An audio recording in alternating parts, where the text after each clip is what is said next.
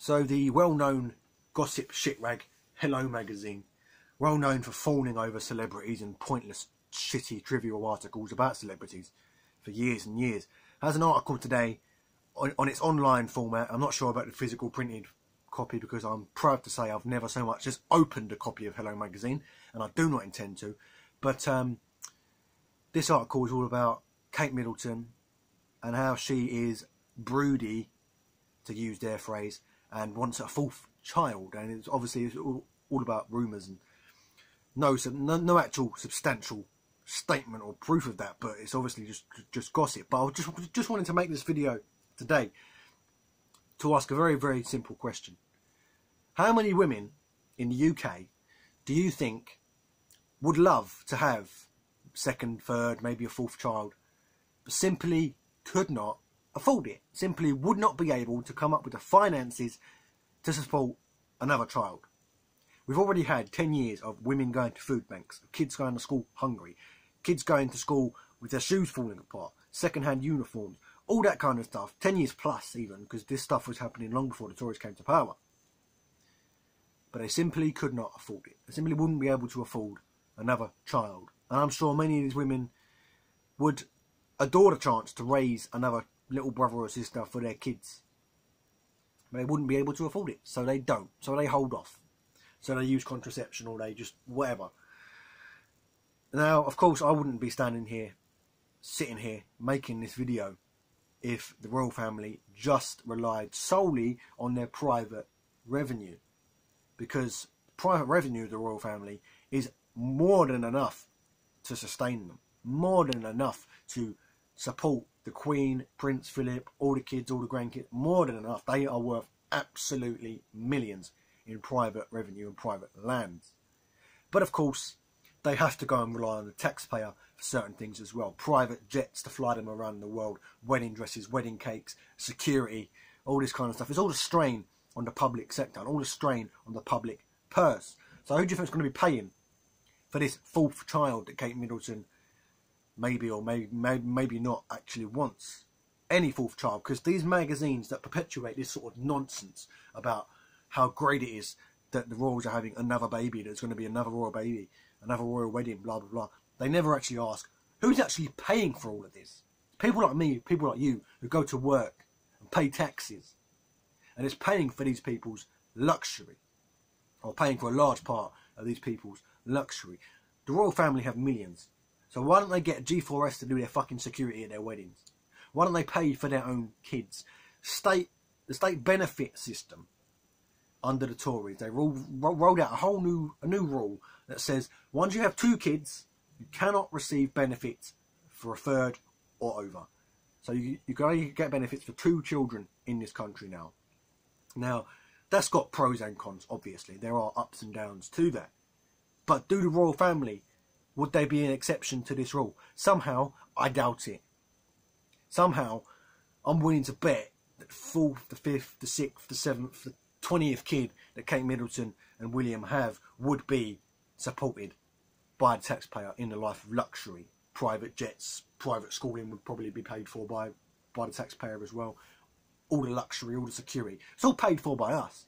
And of course the actual stats that the royal family pump out and the actual stats that people give us when they're pro-royal, pro-monarchy, never include the costs of security, the costs of all the taxpayer funded things that we actually because they always just use the the cost of uh, what what brings in what what actually comes what what actually comes in. Things like uh, tourism which which is a whole load of nonsense anyway. No tourist comes to, to London to shake the Queen's hand they come to London to see the buildings which are an independent entity the Crown Estates do not belong to the Crown or the government they're they're a private body they come to see the, the, the to learn about the history to see the paintings of Henry VIII and see the see the buildings of Tower of London and Buckingham Palace. None of that is the responsibility of the Queen. That's like saying George Foreman combats world hunger because he because he has his tacky name on some grills. It's nonsense. So as ever, we're going to be paying for a fourth child while our own children, working class children in this country, go to school hungry, while their mothers go to food banks, while their fathers graft 50 hours a week just to put food on the table and sometimes even fail to do it after that. while their parents are treated like shit at, at, at their jobs. You know, while opportunities and help for poor people, for poor kids, are shrinking into distance. By 2020, they believe that 20% of children in the UK will live in absolute poverty. Absolute poverty means nothing. Absolute nothing. You can't be, we wouldn't be able to afford the basics that you need to live a quality life. So, toothpaste, things like that, shower gel, shampoos, food, clothing, cosmetic, uh, like a uh, hygiene, hygiene material, soap, etc. Absolute poverty.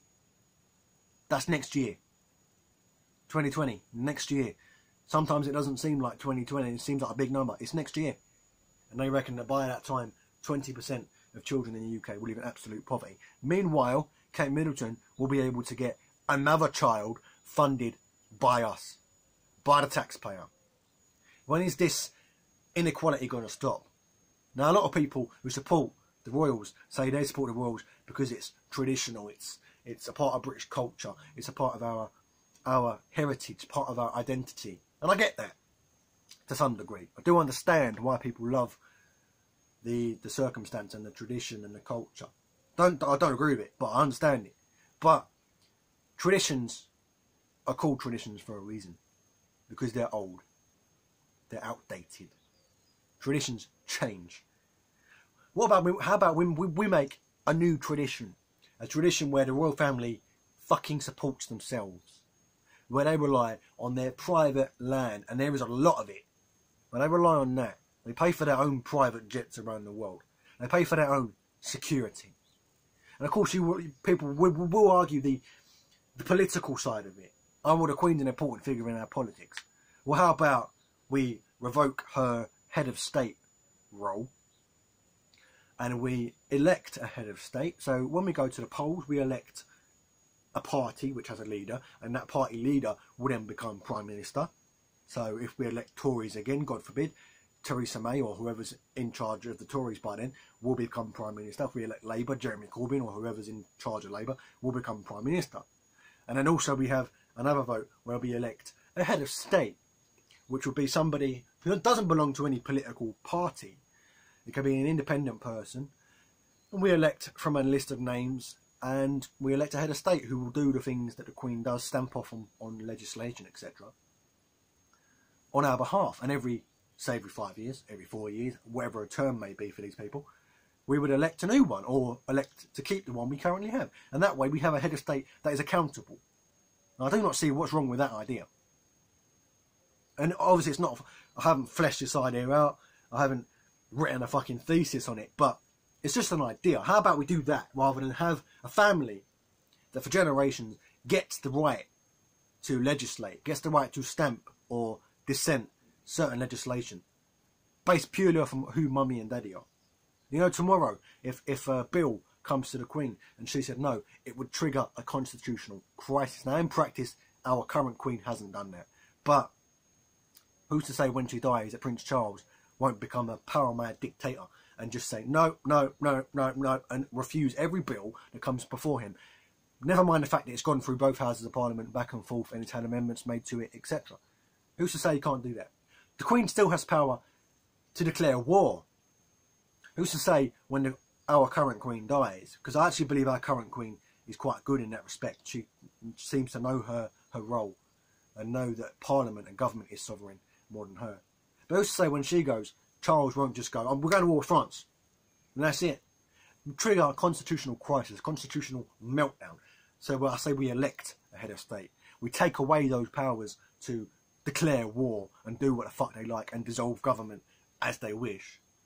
And we make them purely a body that goes around representing us when and where the government can't across the world. And a body that is there at the final step for legislation to put a final stamp on it and pass it into law. That's what I think we should do. We should stop financing these people's lifestyles. We should come down as well, just to be, just to be even and cover the playing field. We should come down on MPs' expenses as well and bankers' bonuses and things like that. Nobody should be entitled to a life of luxury on the taxpayer's tab, particularly if you are already rolling in it. Nobody. Three times underlined, four exclamation marks. Nobody. So, for people who support the monarchy, for people who believe in the monarchy, that's on you. Really, it really is. I don't. I'm not going to sit here and argue with you all day and hate you because I haven't got the energy. But there comes a point where a line must be drawn. You have to stop ignoring all the benefits and all the luxuries that this family has based on what? Name me one merit, one single merit that the Queen has, that Prince Charles has, Prince Harry, Prince William, Kate Middleton, Meghan Markle, that any of these people have that warrants the level of taxpayer support, not even support, taxpayer benefit that they get, taxpayer grant that they get. Because there is nothing, and I repeat, nothing that the Queen does that nobody else could do, that an elected body could not do. So that's it. I'll see you next time.